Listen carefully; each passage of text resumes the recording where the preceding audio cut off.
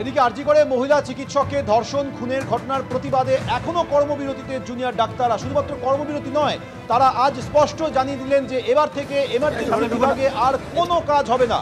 আন্দোলনের তীব্রতা বাড়াতে এবার তারা একাধিক দাবি দেওয়া সামনে রেখেছেন তার জন্য সময়সীমা বেঁধে দিয়েছেন। আমাদের সঙ্গে এই মুহূর্তে সরাসরি রয়েছে আমাদের প্রতিনিধি সন্দীপ সরকার সন্দীপ।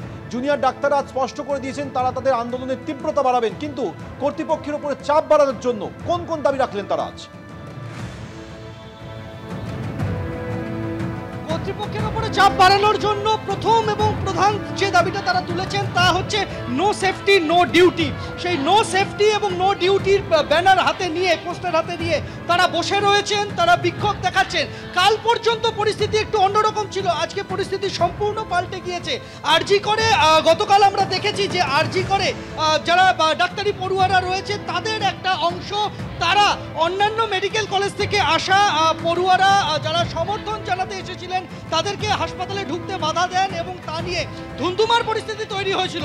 আজকে সেই জায়গা থেকে একশো আশি ডিগ্রি পরিস্থিতি ঘুরে গিয়েছে এবং আজকে আমরা দেখতে পাচ্ছি যে পড়ুয়াদের আরেকটা অংশ, তারা আজকে এখানে অবস্থানে বসেছেন, তারা বিক্ষোভ দেখাচ্ছেন। তাদের বক্তব্য যে অন্যান্য সমস্ত মেডিকেল কলেজের কাছে তারা সমর্থন চাইছেন, তারা পাশে এসে দাঁড়ান, তারা সেটা চাইছেন এবং তারা একেবারে নির্দিষ্টভাবে হাসপাতালের অধ্যক্ষের পদত্যাগ দাবি করেছেন। যদি তিনি পদত্যাগ না করেন, তাকে সরিয়ে দেওয়ার দাবি তোলা হয়েছে স্বাস্থ্য দপ্তরের কাছে এবং তার জন্য বারো ঘণ্টার সময়সীমা বেঁধে দিয়েছেন তারা।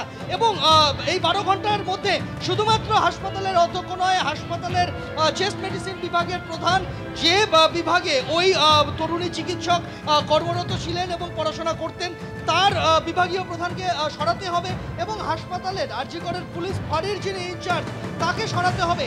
এই দাবিগুলি সামনে রেখে তারা আজকের এই আন্দোলন অবস্থানে বসেছেন। এবং উল্লেখযোগ্যভাবে এই মুহূর্তে কিন্তু আরজিগড় মেডিকেল কলেজ হাসপাতালের চিকিৎসা পরিষেবা কার্যত মুখ থুবড়ে পড়েছে বলা যেতে পারে।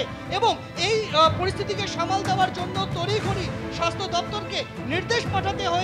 রাজ্যের সমস্ত সরকারি হাসপাতালকে যে সিনিয়র চিকিৎসকদের ছুটি বাতিল, সিনিয়র চিকিৎসকদের ডিউটি করতে হবে এবং নতুন করে কাউকে ছুটি দেওয়া যাবে না, এই নির্দেশিকা পাঠাতে হয়েছে হাসপাতাল প্রত্যেকটি সরকারি হাসপাতালের সুপারকে।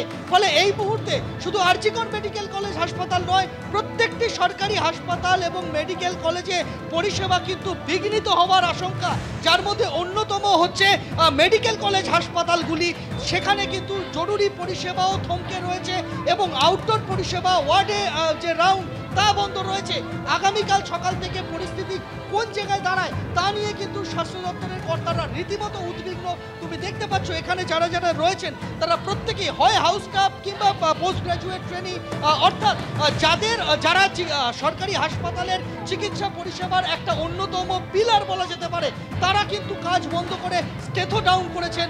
যে কারণে রীতিমতো সংকটজনক পরিস্থিতি তৈরি হয়েছে এই মুহূর্তে আরজিকর মেডিকেল কলেজ হাসপাতালে। ধন্যবাদ তোমার সন্দীপ